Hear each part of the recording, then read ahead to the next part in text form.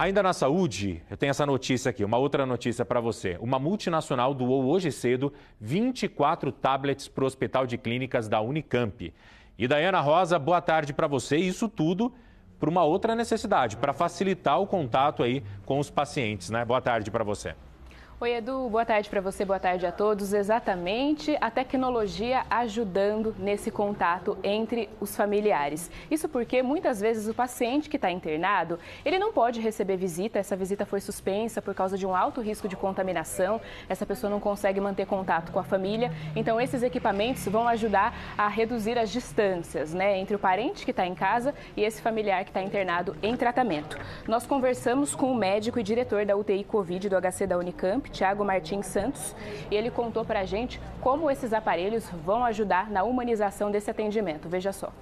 A gente configurou dois desses tablets é, de forma muito rápida, então a gente percebe o quanto a tecnologia ela veio para facilitar. Então a gente configurou dois tablets, um está aqui com a gente, outro está lá na UTI com meu colega Tiago que está lá também e nós estamos aqui na, na, na, na, beira de um leito e a gente percebe então que facilmente a gente, através de, desses programas disponíveis na rede, a gente consegue colocar o paciente em contato não só com um familiar eventualmente, mas fazer uma conferência às vezes com pessoas de outros, outras cidades, estados.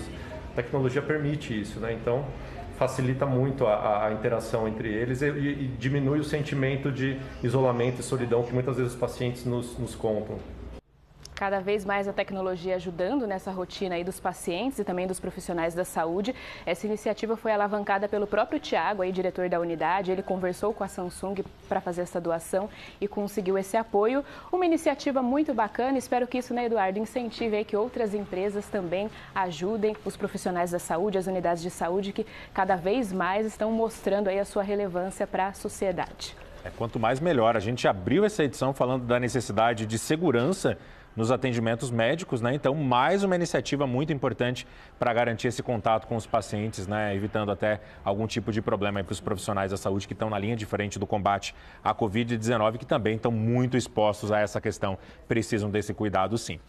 Obrigado, Vilida. Daqui a pouco você volta, né? Obrigada, Edu. Até mais. Volto sim. Até mais.